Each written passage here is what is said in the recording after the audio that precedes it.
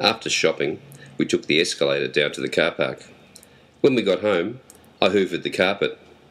While getting changed, I caught my finger in the zipper. I used the Kleenex to wipe the blood before applying a band aid.